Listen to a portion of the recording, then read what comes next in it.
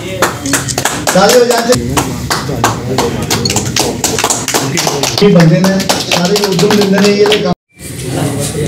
थोड़ा थोड़ा पीछे हो जाओ सर। बिट्टू जी बैठे हुए टीम जम्मू के जोरावर सिंह जो बहुत ही बढ़ चढ़ कर इसमें नशा मुक्त में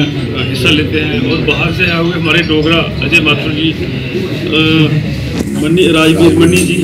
और बाकी साथी उनके और मीडिया कर्मी। जैसे आपने देखा होगा कि नशा मुक्ति पे हम सारे लोग मिलके, सारे लोग काम कर ही रहे हैं। और इसमें हर एक सोशल ऑर्गेनाइजेशन भी मैं देख रहा हूँ कि day to day part play कर रही है अपना, जितना जिसका होता है वो अपना, यहाँ भी हम बैठते हैं, हम देखते हैं कि हर कोई नशे की बात करता है और उसको, इसको कैसे सोसाइटी से दूर किए जाए, उस सिलसिले में हर कोई अपना अपना रोल प्ले कर रहा है। लेकिन मेरी खासकर मीडिया कर्मियों से यही एक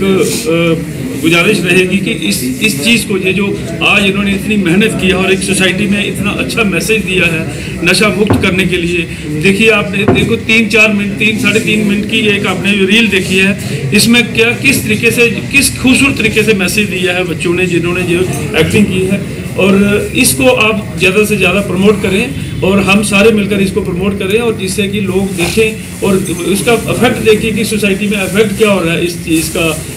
नशे का। सो मैं सबसे यही गुजारिश करूँगा कि हम सब, सारे लोग मिलकर जो हम यहाँ बैठे हैं, और भी हमारे साथी जो हैं, मिलकर हम इस इस इस जो गंदी लत जो हमारी सोसाइटी में लगी हुई है, इसको हम दूर करें। और बाकी हमारा जो पुलिस का काम है, आपने देखा ही होगा, हमारी फ़र्स्ट प्रायोरिटी जो है, वो नशा मुक्त के सिलसिले में हम सारे लोग जो है लगे हुए हैं, छोटे से लेके बड़ा तक। और हम आपने देखा होगा कि इस साल भी हमने काफ़ी ज़्यादा केसेस रजिस्टर किए। जो पिक एनडीपीएस होता है, उसमें हमने वो भी लगाए हैं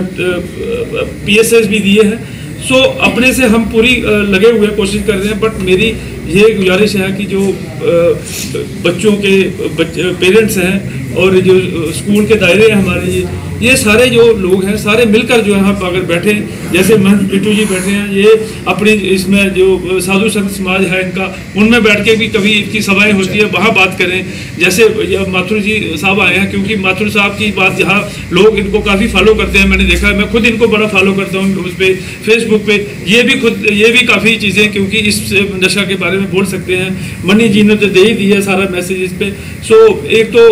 सारे सब मिल तो आई एम श्योर कि ऐसा नहीं है कि ये गंदी चीज़ हमारी सोसाइटी से नहीं निकलेगी। हम प्रण लेते हैं कि हमने ये चीज़ करनी है और मतलब करनी है सबने मिलकर।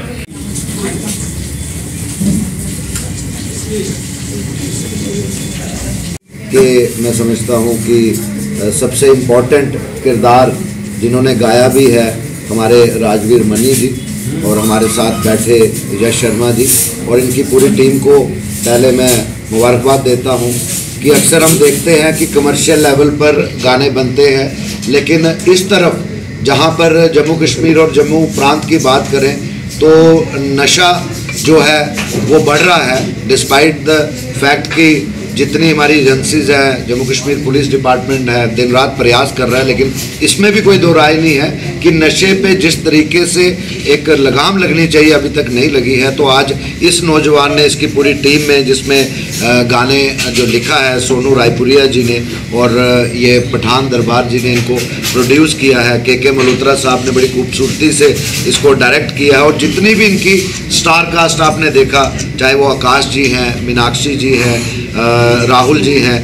राजवीर मन्नी खुद हैं इसमें और वंश और विवेक जी की आपने एक्टिंग दिखी। मुझे ये लगता है ये सिर्फ़ एक एक्टिंग नहीं है। ये समाज को एक आईना दिखाने का काम राजवीर मनी और इनके साथ हमारे छोटे भाई साहिल जी ने किया है कि आज आप देखिए जो आपने यहाँ पर एक गाने में, तीन, साढ़े तीन मिनट के गाने में एक नौजवान को ड्रग ओवरडोज में मरते देखा है, ऐसे कई नौजवान हमारे जम्मू प्रांत में होंगे जो अपनी जिंदगियाँ गवा चुके होंगे। हमें सबको मिलकर, चाहे वो हमारे मीडिया के बंधु हैं, चाहे हमारा सभ्य समाज है, चाहे हमारी जम्मू कश्मीर पुलिस है, या हमारे जितने भी सनातन हो या किसी भी धर्म को मानने वाले लोग हों, जम्मू प्रांत के लोगों को मैं समझता हूँ कि इस गाने ने यह दर्शाया है। अब वो वक्त आ गया है कि इस मुहिम को, जो टीम जम्मू ने पिछले लगभग 10 सालों से हर गाँव, पंचायत, शहरों, कस्बों में लेके गए हैं इसके, इस ड्रग मिनांस के खिलाफ जो कैंपेन मुझे लगता है वो वक्त आ गया है कि टीम जम्मू के स्वयंसेवी भी कम पड़ रहे हैं। अब सभ्य समाज को आगे आना पड़ेगा। हमारी मातृशक्ति को बाहर निकलना पड़ेगा, हमारे नौजवानों को ये टर्न करना पड़ेगा कि क्या हमारा आने वाला जो भविष्य है, इसी तरह एक